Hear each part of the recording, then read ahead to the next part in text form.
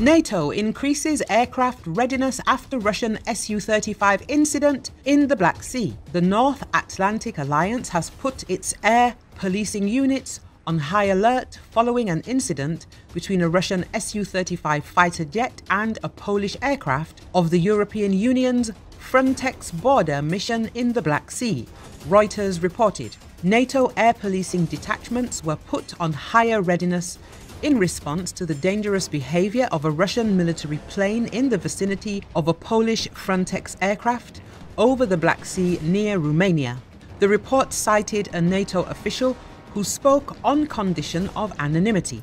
The NATO official added that the alliance remains vigilant and referred all further questions about the incident to the Polish authorities.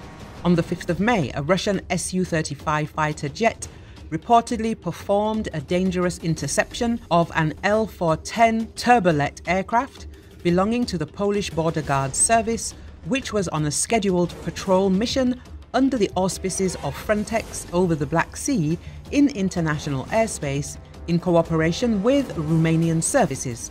The incident led to severe turbulence for the Polish Border Guard aircraft. During the incident, the five person Polish Border Guard crew temporarily lost control of the aircraft and began to lose altitude.